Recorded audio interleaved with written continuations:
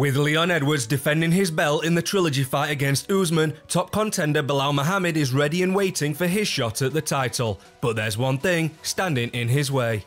On the Anik and Florian podcast, Belal says he's not only disappointed with the UFC, but is also confused as to why Covington is being offered the fight rather than a grudge match with Masvidal that already has a legitimate backstory ready for the promos like you said, even if you're not a fan, you ha- you have to respect the work I put in, the stuff that I, what I've gone through. I've gone. I'm on an eight fight winning streak. Uh, I'm literally. I won 12 of my last 13 fights, and and it's it's not like I'm beating nobody's. I'm beating ranked guys. I have more ranked wins than the champion. I have more ranked wins than the former champion. That wasn't rematches. I have more ranked wins than all these guys, and I had the the fourth longest winning streak in history of the welterweight division and I'm not being mentioned in the the title contention. When Dana comes out and says Colby's next for sure, it just doesn't make any sense. And it just like it was always the oh we don't make fights after the fight. We don't make we don't do that after the fight. But where the hell did Colby come from to jump the line in front of everybody when his last win was Masvidal, who's number if we're talking about rankings, is number 12. If we're talking about wins, he's lost two in a row and he got knocked out before that fight with against Usman, and Colby still didn't finish him in that fight, and Kobe, Colby almost got finished in that fight by Masvidal. So like, how does he just jump the line in front? Like, if it was Masvidal getting a title fight, I would understand. If it was even like, we'll wait and see what happens with Masvidal, because I understand the storyline there. I understand the the business aspect of it and the three piece of the soda and why I would get skipped, and that's what I was. That's what I was more nervous about any than anything is if Leon wins, they're going to wait and see what happens with the Masvidal fight. And I could understand that. But then that would also give me the Colby fight, which I've always wanted anyway. And to me, it makes sense anyway. That's I'll take that fight because just the punch him in his mouth, and because he he's been running from us for so long, he didn't want to fight me in uh, Mar- in London when we were asking for that fight, and it was like Dana could say this, oh, we, you know, we were trying to make these fights for Colby, and they just fell through. It's not falling through on my end. We didn't ask for more money. We didn't ask for a, a higher rank, a higher paycheck. I'm not, I'm not a Costa. I'm saying let me fight the motherfucker for free. Let me fight it for what I'm getting paid right now. There's no negotiations on my end, and you guys are just saying no. So it just tells me that there's something bigger than this. UFC doesn't want to look bad. They want Colby to uh, drop the charges on Masvidal because they're two of the biggest names in the company. And if they are negotiating with ESPN or whatever about uh, the new TV deals, like you don't want a, a trial case going on with your guys where the the company looks like barbaric and stupid because you have two morons fighting each other outside of the cage when they just fall inside of the cage. But then these two morons are the ones that are getting the most shine. So it's like, what do you want? If you want to be a professional company, if you want to be like show the fans that we're a real sport uh, company, it's like the guy that's winning, the guy that's uh, fighting, the guy that's putting it all on the line every day. And these young fighters that are coming up, it's like, now what do they think? It's like, oh, so do we have to change the way we act? Do we have to change the way we do this? Do we have to change the way we do that? Because winning is not enough. And even a fan base. I think I still have a big enough fan base where I will be selling the pay per views. I will be pushing a fight, selling a fight. There's not a lot oh, of fighters that don't even that barely talk. I'm, I'm, on social media. I have I have people that are behind me 100. percent I have a country behind me. You saw me fight in Abu Dhabi. You saw the crowd of it, their reaction, and it's like it really doesn't make any sense. And Belal also reveals that he was down to fight Colby on the Edwards vs Usman London card, where Covington even weighed in as a backup fighter, and could have easily booked to fight Belal with the backup fighter stipulation remaining intact. Yeah, I mean, my la- after my last fight, when I got the Sean Brady fight, that's when I was like, "Am I being punished?" Because I, I just beat number four uh, in Wonder Boy, then I beat number five in Luque, and there was four guys above me that were with no fights, and I was like, why am I going to fight a Sean Brady? It makes no sense for me to fight downward. But then they gave me that fight and they forced that fight. So then I that's what that's what I was like, man, dude, maybe they got something against me. But then I go out there and I finish him in Abu Dhabi, and it's a it's a uh, I was still an underdog on that fight card and one of the biggest cards of the year in Abu Dhabi. The crowd was going nuts, and to get a finish like that, you're expecting something bigger to happen for you. You're expecting to to hop right back on the train and keep the ball moving. But then it was the the waiting game, and it's like, what are we getting? Oh, well, you know, we'll see what happens next. And then it was like Gilbert just won his fight, so I was like, okay, well, I guess since no, nothing else is happening, we're gonna fight Gilbert. And it's like, no, no, no, Gilbert's fighting Masvidal. You're gonna fight Colby. So then I'm like, all right, well, I'm fighting Colby, so that's a fight I always wanted. I'll take that fight. Let's do it on the March card. Let's do it in London.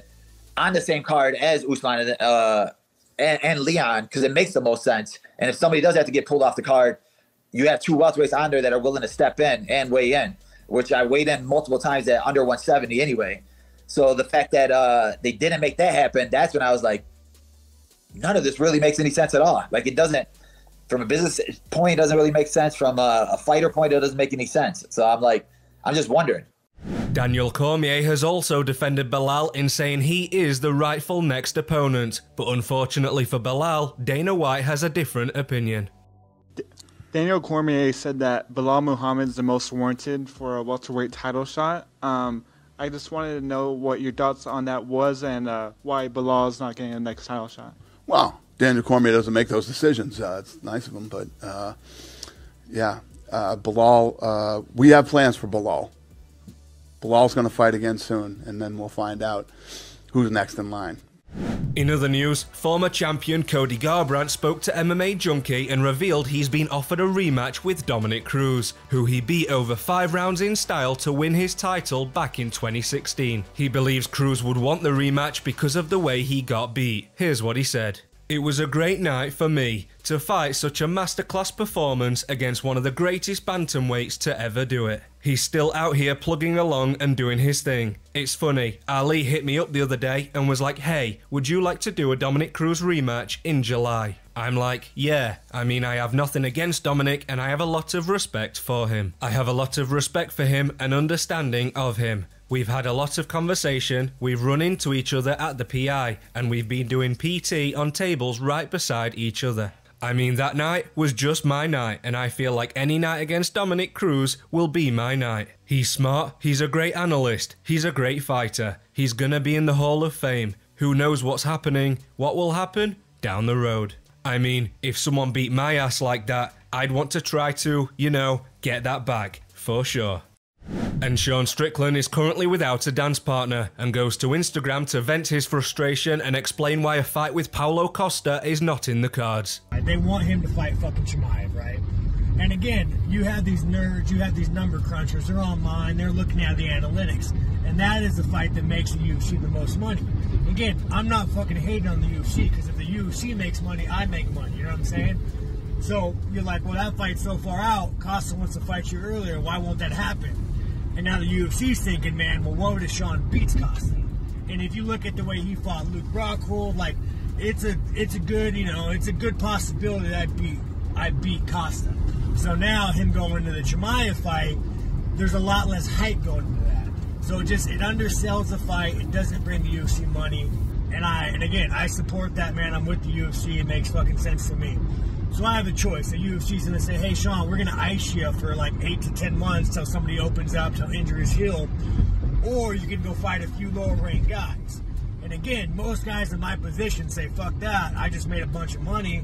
I want to fucking wait eight to 10 months to fight a high ranked guy and save my ranking, right? Because again, if you're in the top 15, you're a bad motherfucker. And if you lose to a 14 ranked guy, which a 14 ranked guy could beat a top 50, a top 10 guy, top 5 guy any day of the week, then you're the guy that lost to the fucking the low ranked guy. It's bullshit. I know, but that's just how the fucking that's how the thought process is. So I'm gonna have a choice. Either wait eight to ten months to fight, wait for somebody higher rank opens up, or man the fuck up and fight a bunch of guys that are lower rank and take the risk. At the end of the day, guys, I want to fucking fight. I want to fucking make money. Rankings mean nothing, dude. Top 15, you guys are all bad motherfuckers. So more than likely, I'm gonna be fucking, you know, doing the lower circuit fucking I'm gonna be fighting a lot of lower guys. But in the day, I don't give a fuck. And shortly after, Strickland went back to Instagram to call out some light heavyweight fighters, since he can't get one at middleweight. I just talked to the UFC, and they pretty much said I'm fucked, I'm out of luck. So some 205ers out there, Dominick Reyes, I don't know, anybody out there that wants a piece, maybe, maybe we handle this shit at 205, because that division's open for some fights. And former champion Max Holloway shares some highlights from his training camp, preparing for his five round main event against Arnold Allen. We ain't even scared of the monsters in our closets that made up. We ain't hiding out tonight. Yeah. Watch your young eyes light up the uh, night sky. Who cares if we're famous? Cause the stars already know what our name is. And it's starting to align. We'll be lighting up the night. Fight. Nobody gon' tame us. No fear, we ain't scared of danger. So give it your best try. Can nobody stop us this time? So I'ma let my chest poke out just a little. I'm headed to the top, can't stop in the middle. We are on the rise. So keep watching the sky.